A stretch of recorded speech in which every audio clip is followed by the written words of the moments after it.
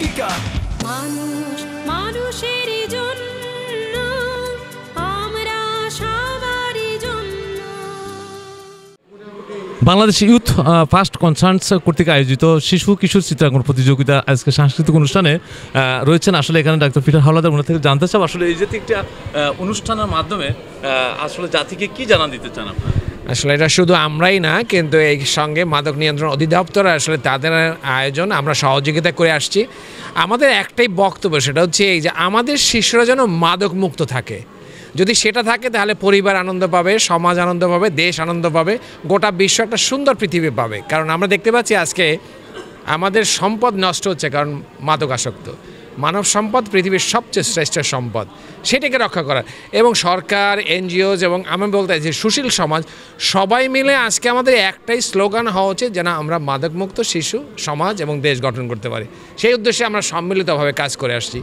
Youth first concern এবং মাদক নিয়ন্ত্রণ অধিদপ্তর, স্বরাষ্ট্র মন্ত্রণালয়, এটা আমরা গত পনেরো বছর যাবৎ করে আসছি যেন এই মেসেজটা মানুষের কাছে যেতে পারে। এটি আমাদের উদ্দেশ্য। আগামীর বাংলাদেশকে তারা তাদের স্বপ্নের বাংলাদেশকে তাদের অঙ্কনের মাধ্যমে ফুটিয়ে তুলছে এবং এই যে তাদের রং তুলির আচরে বাংলাদেশের রচনা একদিন এটি বাস্তবে তারা পরিণত করবে বলে আমরা বিশ্বাস করি। আমরা তাদের মধ্যে কল্পনার বিস্তৃতি চাই। বাংলাদেশকে নিয়ে তারা অনেক কিছু ভাববে, অনেক কিছু করবে এটি প্রত্যাশা করি। তাদের মধ্যে স্বপ্নের বজ বীজ বপনের যে অভিযাত্রা আমরা আজকে শুরু করছি, আমরা জানি তাদের মধ্যে যে অমিত সম্ভাবনা রয়েছে, সেই সম্ভাবনাকে কাজে লাগিয়ে তারা অনেক দূর এগিয়ে যাবে। বাংলাদেশকেও অনেক দূর এগিয়ে যাবে। আমি সবার সর্বাঙ্গীন সফলতা কামনা করে আজকের এই চিত্রাঙ্কন প্রতিযোগিতার শুভ উদ্বোধন ঘোষণা করলাম। মাদক নামের একটি আগ্রাসী শক্তি, একটি মানে ভীষণ বিপজ্জনক বিষয় আমাদের সন্তানদের, আমাদের মানুষগুলোকে আঘাত করার জন্য এগিয়ে আসছে, থাবা বিস্তার করছে। আপনারা অনেকেই হয়তো জানেন, বলা হয়ে থাকে, আজকের বাংলাদেশে সত্তর লক্ষ মানুষ মাদকাসক্ত। তার মধ্যে প্রায় আশি ভাগই হচ্ছে তাদের বয়সীমা পনেরো থেকে পঁয়ত্রিশের মধ্যে। তার মানে একটা বিশাল কর্মশক্তি আজকে পর্যদস্ত অলরেডি হয়ে গেছে। তাদের দিয়ে কোনো কাজ হয় না। তারা সমাজ, সমাজের সম্পদ না বোঝায় পরিণত হয়েছে। যে ঘরে একজন মাদকাসক্ত আছে, সেই পরিবারের প্রতিটি সদস্য জানে কি ধরনের মারাত্মক পরিস্থিতি তারা মোকাবেলা করছে? আশা করি আমাদের যে আলোচনা পর্ব, সেদিকে আপনারা একটু মনোযোগ দেবেন। বলা হচ্ছে, প্রতি দশজন মাদকাসক্ত মানুষ নতুন করে একজনকে মাদকাসক্ত বানায় ফেলে। তাহলে আগামী বছর সেটি দাঁড়াবে সাতাত্তর লক্ষ। এভাবে যদি ক্রমাগত বাড়তে থাকে, আমাদের অবস্থা কি দাঁড়াবে? আমরা আমাদের সন্তানরা কি নিরাপদ থাকবে? আমরা কি তাদেরকে সুস্থ, স্বাস্থ্য রাখতে পারব? এই প্রশ্নটি কিন্তু আমাদের সামনে জোরালোভাবে এসে পড়েছে। বলা হয়ে থাকে prevention is better than cure মানে প্রতিরোধ হচ্ছে নিরাময়ের চেয়ে উত্তম। আপনি যদি আজকে প্রতিরোধে এগিয়ে না আসেন যে কোনো সময় আপনার সন্তান ওই মাদকের মায়াজালে আচ্ছন্ন হয়ে যেতে পারে। আপনার প্রতিবেশী, আপনার ভাইয়ের সন্তান, আপনার বোনের সন্তান, আপনার ছোট ভাই, এই ধরনের পরিস্থিতিতে পড়ে যেতে পারে। তাই আজকে ঘরে ঘরে চেতনা তৈরির প্রয়োজন হয়েছে আমরা চিত্রাঙ্কন করছি, আমরা কুইজ প্রতিযোগিতা করছি। এই সব কিছুর পেছনে একটি মাত্র উদ্দেশ্য। মানুষকে জাগিয়ে তোলা। কারণ মানুষের চেতনা শক্তি যত বড় অপশক্তি হোক না কেন, সে অপশক্তিকে মোকাবেলা করতে পারে। চেতনার এমন শক্তিমত্তা রয়েছে, এমন মানে বিশাল তার মানে গভীরতা রয়েছে, সেখানে কিন্তু যে কোনো অপশক্তি হারিয়ে যেতে বাধ্য। মাদক আসছে আমরা মাদককে প্রতিরোধ করতে চাই আমাদের চেতনা দিয়ে। আমি যদি সিদ্ধান্ত গ্রহণ করি, আপনি যদি সিদ্ধান্ত গ্রহণ করেন, আপনার ঘরে মাদক প্রবেশ করবে না। তাহলে আপনার ঘরে মাদক প্রবেশ করবে না। সে ব্যাপারে সচেতন হবার প্রয়োজন রয়েছে। একজন মাদকাসক্ত শুধু তার পরিবারকে ধ্বংস করে না, তার প্রতিবেশকে একেবারে ক্ষত বিক্ষত করে দেয়, অস্থির করে দেয়। মাদক এত খারাপ জিনিস। মাদক যখন গ্রহণ করে, তার মস্তিষ্ক আর মস্তিষ্ক থাকে না। এটা বিকৃত হয়ে যায় ডিফর্ম হয়ে যায়, এবং তার চেতনা শক্তি ক্রমশ লুপ্ত হতে থাকে। পুরুষ হলে পুরুষত্বহীন হয় মহিলা হলে, মেয়ে হলে তা বন্দা হয়ে যায়। শক্তি ক্ষমতা ক্ষীণ থেকে ক্ষীণতর হয়, এক সময় মৃত্যু সামনে এসে দাঁড়ায়। এভাবেই মাদক কিন্তু আমাদেরকে পর্যদস্ত করে। মায়েরা পারেন সন্তানের সামনে উজ্জ্বল ভবিষ্যতের স্বপ্ন রচনা করতে। আমাদের নেপোলিয়নের সেই পুরনো কথাটা আবার স্মরণ করতে চাই। আমাকে ভালো মা দাও, আমি একটি ভালো জাতি দেব। আমি বিশ্বাস করি ব্যক্তিগতভাবে যে আপনারা যদি দায়িত্ব গ্রহণ করেন, আপনারা অবশ্যই আপনাদের সন্তানকে ভালোবাসেন, সাথে সাথে আপনারা আপনাদের দেশকেও ভালোবাসেন। এই দুটি ভালোবাসাকে একত্রিত করে যদি আপনারা দায়িত্ব গ্রহণ করেন, তাহলে মাদক আপনাদেরকে স্পর্শ করবে না। আপনার পরিবারকে দয়া করে মাদক থেকে দূরে রাখুন। তাই আমার আহ্বান থাকবে আজকের দিনে। আসুন, আমরা সবাই মিলে সচেতন হই। মাদককে কোনোভাবেই আমাদের দেশে প্রবেশ করতে দেব না, আমাদের বাড়িতে প্রবেশ করতে দেব না, আমাদের প্রতিবেশে অনুপ্রবেশ ঘটাতে দেব না। এ বুক আমাদের প্রত্যয়। আপনাদের সবাইকে আবার অভিনন্দন সকলের জন্য শুভকামনা ধন্যবাদ। ও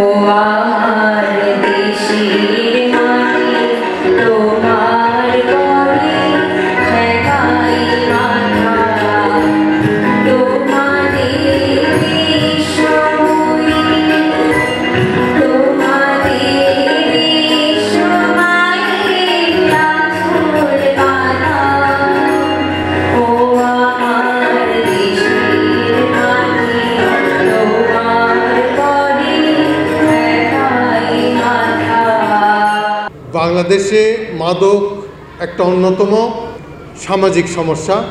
আমাদের দেশে অনুমান করা হয় প্রায় সত্তর লক্ষ মানুষ মাদকাসক্ত, যাদের বেশিরভাগই হচ্ছে যুব সমাজ। বিভিন্ন কারণে তারা মাদক গ্রহণ করে। একটা হলো মাদকের প্রতি তাদের যে কৌতূহল আর একটা হলো মাদকের যে কুফল, সেটা না জানা। আর একটা হলো বন্ধুদের প্ররোচনা এছাড়া আরও বিভিন্ন কারণে তারা মাদকাসক্ত হয়ে পড়ে। আনন্দের জন্যে মাদক গ্রহণ করে, কিন্তু যখন মাদকের বেড়া জালে সে জড়িয়ে পড়ে, তখন সে মাদক ছাড়তে পারে না। মাদকের টাকা জোগাড় করার জন্য পরিবার থেকে টাকা পয়সা চুরি করা শুরু করে। যখন পরিবার থেকে টাকা পায় না, তখন বিভিন্ন আইন শৃঙ্খলা বিরোধী কাজে সে লিপ্ত হয়ে পড়ে। বাংলাদেশে যারা আইন শৃঙ্খলা বিরোধী কাজে লিপ্ত, তাদের বেশিরভাগই হচ্ছে মাদকাসক্ত। এখন মাদকের বিরুদ্ধে বাংলাদেশে আইন শৃঙ্খলা বাহিনী মাদকদ্রব্য নিয়ন্ত্রণ অধিদপ্তর দীর্ঘদিন ধরে কাজ করে যাচ্ছে। একটা পরিসংখ্যান আমি দিতে পারি, সেটা হলো, বর্তমানে যে মাদকটা অত্যন্ত ভয়াবহ, সেটা হচ্ছে ইয়াবা। এই ইয়াবা দুই হাজার এগারো সালে সমস্ত আইন শৃঙ্খলা বাহিনী এবং মাদকদ্রব্য নিয়ন্ত্রণ অধিদপ্তরের উদ্ধারকৃত পরিমাণ ছিল দশ লক্ষ মতো, যেটা দু হাজার সতেরো সালে বেড়ে দাঁড়িয়েছে চার কোটিরও বেশি, আর আসামির সংখ্যাও বেড়ে গেছে। তার মানে ছয় বছরের ভিতরে একটা মাদক দ্রব্যের ব্যবহার আটক চল্লিশ গুণেরও বেশি বেড়ে গেছে। তাহলে এত যদি আমরা মাদক আটক করি, এত মাদক যারা ব্যবসা করে তাদেরকে আটক করি, তারপরেও কি আমরা বলতে পারি বাংলাদেশে মাদক আস্তে আস্তে কমে যাচ্ছে? আমরা বলতে পারি না। কারণ হচ্ছে শুধুমাত্র আইন শৃঙ্খলা বাহিনী দিয়ে এই মাদক দূর করা সম্ভব না। এর জন্যে দরকার হচ্ছে সামাজিক আন্দোলন এবং পরিবারকে সচেতন করা। সবচেয়ে বেশি দরকার হচ্ছে তার পরিবার, বিশেষ করে মায়েদের ভূমিকা সবচেয়ে বেশি। কারণ মায়েরা কিন্তু তার সন্তানের, নারী নক্ষত্র সব কিছু সে জানে। একটা সন্তানকে খুব বেশি আদর করা যেমন ক্ষতিকর, খুব বেশি শাসন করাও খুব ক্ষতিকর। আমরা ছোটোকালে আদর পেয়েছি, শাসনও পেয়েছি। সন্ধ্যার পরে কিন্তু আমরা বাড়ির বাইরে থাকতে পারতাম না। আমাদের কিছু হাত খরচের অনেক টাকা পিতামাতারা দিত না। কিন্তু এখন অনেক ক্ষেত্রে দেখা যায় অতিরিক্ত আদরের কারণে সন্তানদের প্রচুর টাকা পয়সা দেওয়া হয়, তখন তারা কিন্তু এটা বিপদে পরিচালিত হওয়ার সম্ভাবনা থাকে। একটা আপনার সন্তান মাদক গ্রহণ করার করে কিনা সেটা কিছু লক্ষণ আছে। যেমন আপনার মেধাবী ছেলে, সে হয়তো কলেজে ভর্তি হয়েছে, শান্তশিষ্ট, হঠাৎ দেখছে যে ছেলেটা হয়তো উগ্র স্বভাব। সে নিয়মিত দশটা এগারোটা ঘুমাতেও হয়তো দেখা যাচ্ছে যে সে সারা রাত জেগে থাকছে। আচরণ খিটমিট। লে- তারপরে তার খাওয়া দাওয়ার প্রতি তার আগ্রহ নেয় এইসব যদি দেখেন, তার কিন্তু অনেক বোঝার কারণ আছে যে এই মাদক গ্রহণ করতে পারে। তখন তার প্রতি বিশেষ নজর দিতে হবে। এবং প্রাথমিক পর্যায়ে তা আপনার ছেলের প্রতি যদি নজর দেন তাই কিন্তু শুধুমাত্র পরামর্শের মাধ্যমেই তাই কিন্তু মাদক থেকে দূরে রাখা সম্ভব।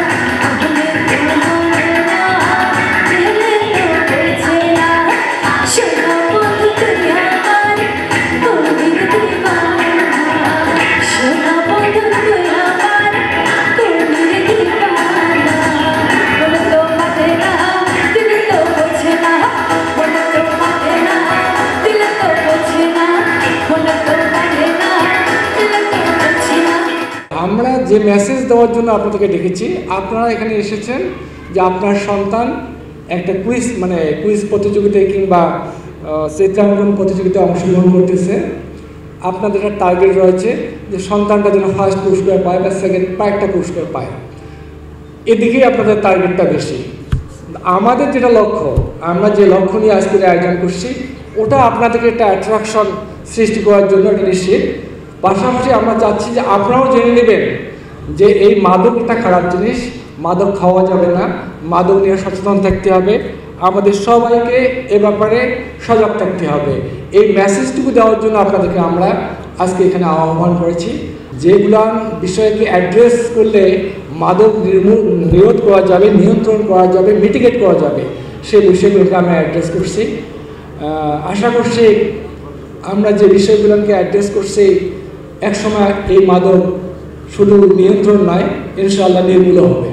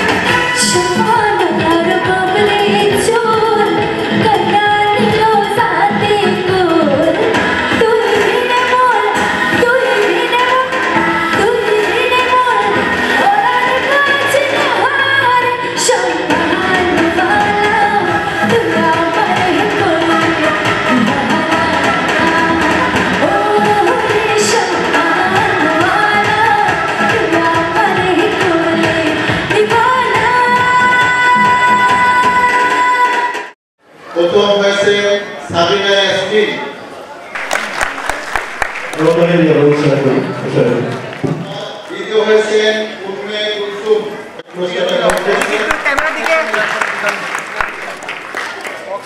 দ্বিতীয় মৌমিতা হালদার।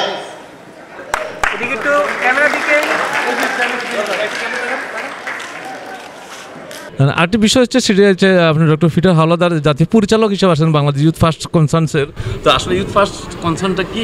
না, আমাদের ইউথ ফার্স্ট কনসার্ন হচ্ছে যে আমরা যুবক, যুবতীদের নিয়ে, কিশোর, কিশোরীদের নিয়ে কাজ করি, বিশেষ করে হাই স্কুল কলেজের তাদের কাছে আমাদের বক্তব্য যে শিশুরা বা ছেলেমেয়েরা যেন সঠিক পথে চলে, শিক্ষা এবং আচার, ব্যবহার, সেই সঙ্গে সঙ্গে আমরা বলছি, দেশের জন্য যেন তারা নিবেদিত হয়, দেশের জন্য যেন তারা প্রস্তুত হয়। আমরা যদি এই কথাই বলতে যাচ্ছে, আমাদের শিশুরা দেশে প্রস্তুত হবে এবং আন্তর্জাতিকভাবে সেবা দিবেন। এই জায়গাটা আমরা দাঁড়িয়েছি এবং সেইখানে আমরা শিশুদেরকে, ছাত্রছাত্রীদেরকে আমরা তৈরি করছি। এটা আমাদের কাজ। প্রিয় দর্শক, আসলে এই যে বিষয়টি ছিল, আগে শুনুন, শিশু ও যুবদের প্রতি মনোযোগ দেওয়া হয়, তাদের নিরাপদ বেড়ে ওঠার প্রথম পদক্ষেপ হিসাবে মানুষ মানুষের জন্য অনুষ্ঠানের মাধ্যমে আসলে আমরা যেটি জানা দিতে চাই ক্ষত বিক্ষত প্রজন্মকে রক্ষার জন্য। বিশেষ করে আজকে যে যুব সমাজ নয়, কোমলমতি শিশুরাও মাদকাসক্ত হচ্ছে, সেই কোমলমতি শিশুদেরকে রক্ষা করার জন্য ইউথ ফার্স্ট কনসার্ন যে উদ্যোগ গ্রহণ করেছেন, তো এই অনুষ্ঠানের মাধ্যমে জনসচেতনতা বৃদ্ধি পাবে, কোমলমতি শিশুরাও মাদকাসক্ত থেকে মুক্ত থাকবে। প্রিয় দর্শক, আজকের মতো এখানে শেষ করছি, দেখা হবে আগামী পর্বে, ততক্ষণ আমাদের সাথেই থাকুন। মানুষ মানুষের জন্য, আমরা সবারই জন্য। এই দেশে জন্মেছি বলে হয়েছি আমরা ধন্য। Zebra crossing, foot over bridge, রাস্তা পারাপারের জন্য। সচেতন হব আমরা, মানুষেরই জন্য। ওভারটেকিং নিষিদ্ধ এলাকা ওভার ট্রেকিং করবেন না। ফিটনেস বিহীন গাড়ি কিন্তু রাস্তায় নামাবেন না। মাদক মুক্ত চাই সমাজ, থাকবে না কোনো সন্ত্রাস। সমৃদ্ধশালী দেশ গড়ার, করব আমরা অঙ্গীকার। মানুষ মানুষের